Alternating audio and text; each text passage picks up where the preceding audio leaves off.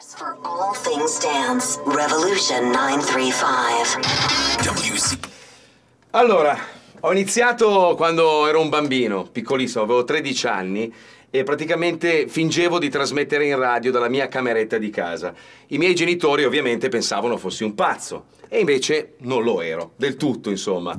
Ho continuato, ho iniziato in queste piccole radio locali per poi arrivare a quelle regionali fino ad arrivare a una delle radio più importanti d'Italia, se non la più importante, Radio 105. Faccio questo lavoro da 30 anni e ogni giorno, nonostante ormai sia passato veramente tantissimo tempo, io mi chiudo qua dentro e scrivo, creo, monto, realizzo dei piccoli capolavori.